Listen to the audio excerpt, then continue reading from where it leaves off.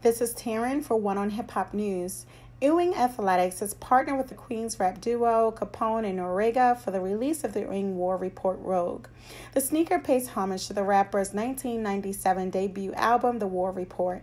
The album was quickly listed in 1997's Hip Hop R&B Top 5 and cemented the duo firmly in New York's music history, a legacy which has previously led to collaborations with the likes of Supreme and 2016.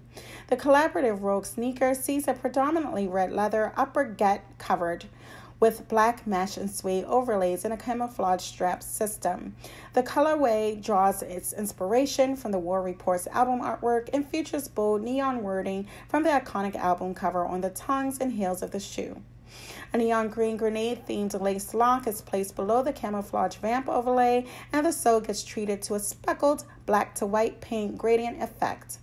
Ewing Athletics is also releasing a highly limited run of friends and family pairs, which feature a desert camouflage theme instead of the general release's khaki camo look.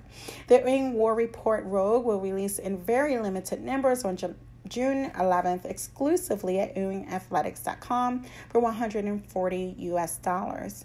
Make sure to like or subscribe on YouTube and check out oneonhiphop.com for more information.